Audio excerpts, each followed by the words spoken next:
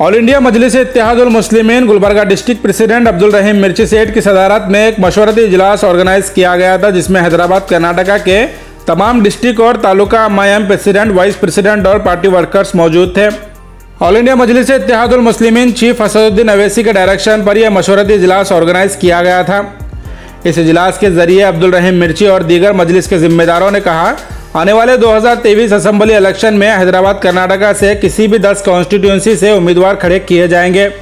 अब ये 10 कॉन्स्टिट्यूंसी कौन से होंगे और किस कॉन्स्टिट्यूंसी से मजलिस जीत सकती है, ये फैसला गुलबर्गा, बीदर, यादगीर और दीगर हैदराबाद, कर्नाटका के डिस्ट्रिक्ट और तालुका प्रेसिडेंट को मिलकर तय करना होगा।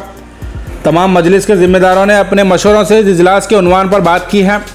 आखिर में अब्दुल रहीम मिर्ची ने कहा हैदराबाद कर्नाटका से मजलिस के 10 उम्मीदवार खड़े कर जिताए जाएँगे।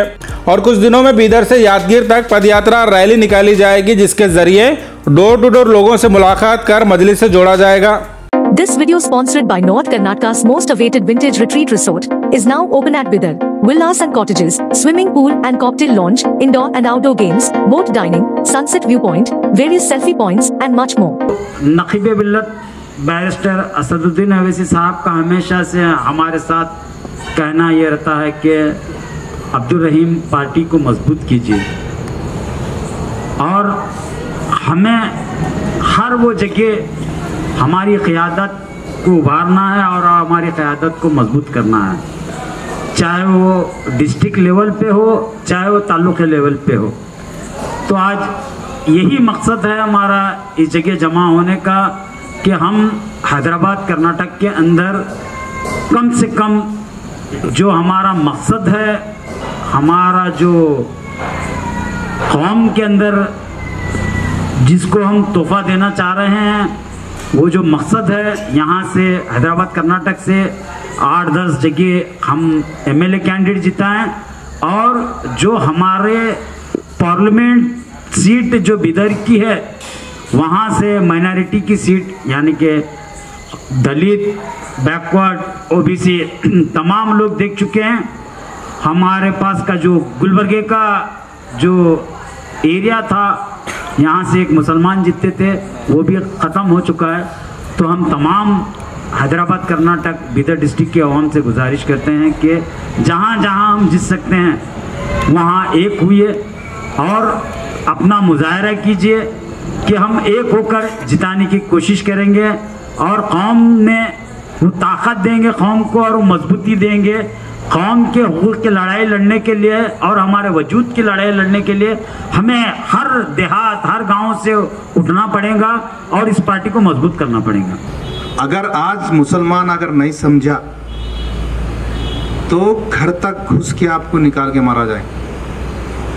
हाँ मैं किसी से डरता नहीं, सिर्फ़ डरने वाला सिर्फ़ अल्लाह से डरता हूँ मैं ये हालात को बनाने वाले हम खुद हैं, ये हालात को बनाने वाले हमारे अमाल हैं। हम घर घर में चार आदमी है तो तीन बिकाऊ हैं, एक अच्छा है। कई कई घरों में तो नौ नौ आदमी है तो नौ आदमी बिकाऊ हैं। कम से कम खर्च करके ज़्यादा से ज़्यादा फ़ायदा। एक एक वोट को पाँच सौ हज़ार रुपये में बिक कर जो है नहीं हमारे आज जो, ये जो जूते खा रहे हम जो हमारे शरीयत के ऊपर जो डाका डाले, ये सिर्फ़ हमारे अमालों की सजा है। हाँ हम समझ रहे हैं खाली टोपी पहन को, नमाजा पढ़ को, दाढ़ी छोड़ को, अब वक्त नहीं है। अब वक्त हमको इस देश में रहने का या नहीं रहने का वो वक्त है। अगर आज हम नहीं समझे, आज शिकायतन करते बैठे हम 2023 में हालात कैसे होंगे आप देखेंगे। 2024 में आप हालात को समझ नहीं सकेंगे, समझ। समझने का भी टाइम नहीं रहेगा आपको, समझने का।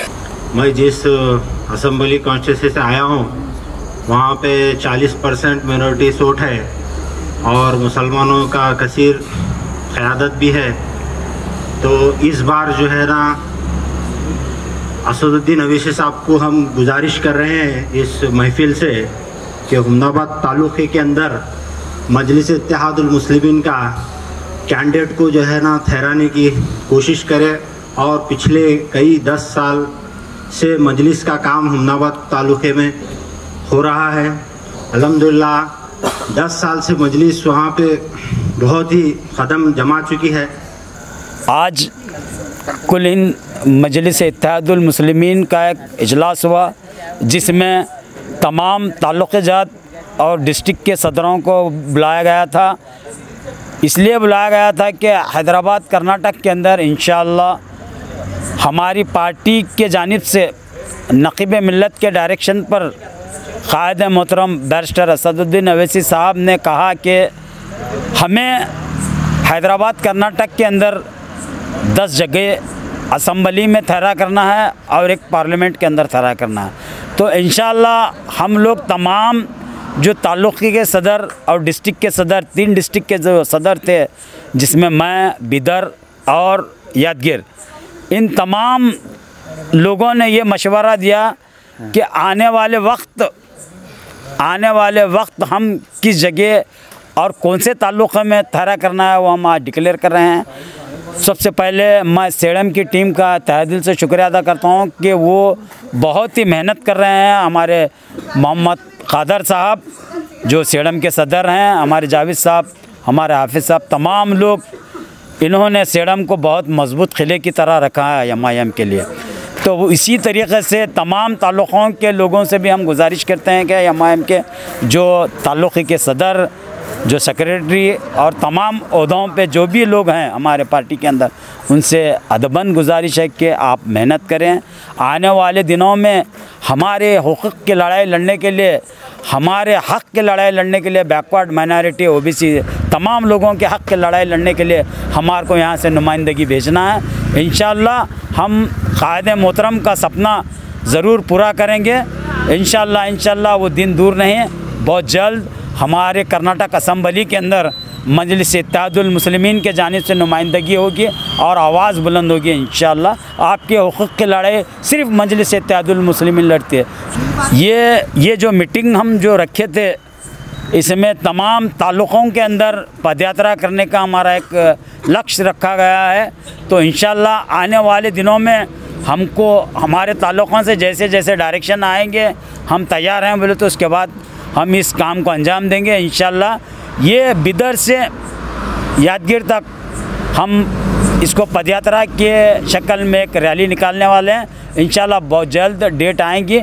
फिर एक मरतबा हमारा इजलास है, उसमें ये तय पाएगा कि क्या डेट पे होगा। इन फिर एक मरतबा आप लोगों से गुजारिश है कि आप हमारे साथ जुड़िए, आपके हकूक़ के लड़े लड़ने वाले सिर्फ़ मजलिस इत्यादुलमसलिमिन है।